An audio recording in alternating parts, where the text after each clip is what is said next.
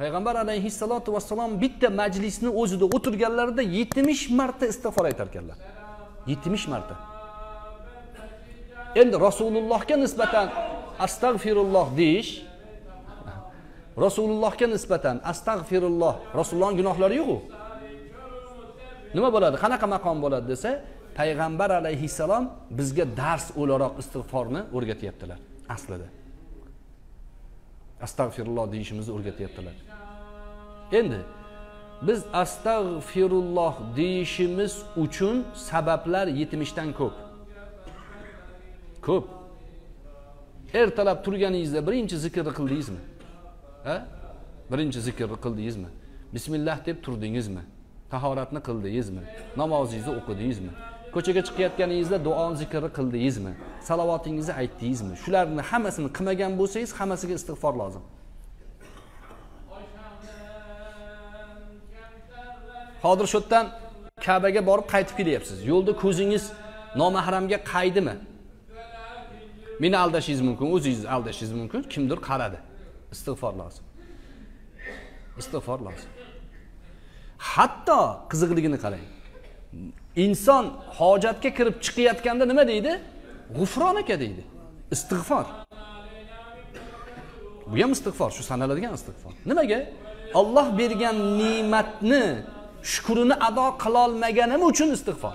Astag'firulloh olloh gunohimni kechir deydi. Qarang ne'matning shukrini ado qilolmaymiz. Qilolmaymiz.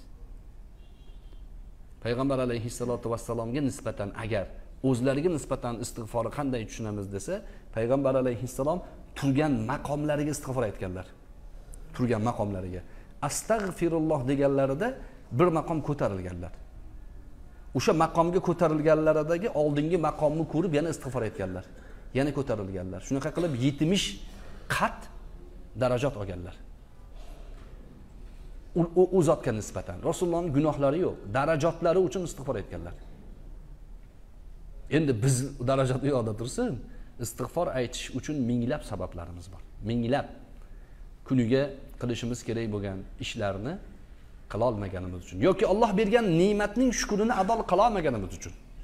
Istig'for lozim. Namoz o'qiymiz salom bergandan keyin birinchi zikr nima? Uch marta astag'firulloh nimaga juda katta ishni qilib qo'ydik o'zi.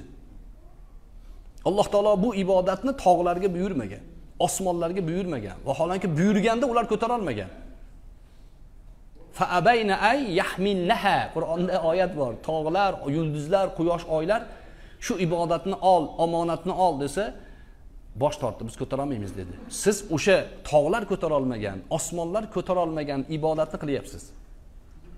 Oddiy odam emassiz siz. Kuntum xoyra ummatinsiz eng yaxshi insonsiz. Tagini surishtirsa. Nimaga istig'for aytyapmiz? Shundoq ibodatni to'la to'kis ado qilolmadik baribir. Hayolimiz ming xil bo'ldi. Ne hayollarga borib keldik qancha do'konlarni hisob kitob qilib keldik. O'zimiz namozdamiz hayolimiz kemada. O'zimiz namozdamiz hayolimiz do'konda. Bular uchun istig'for lozim bo'ldi.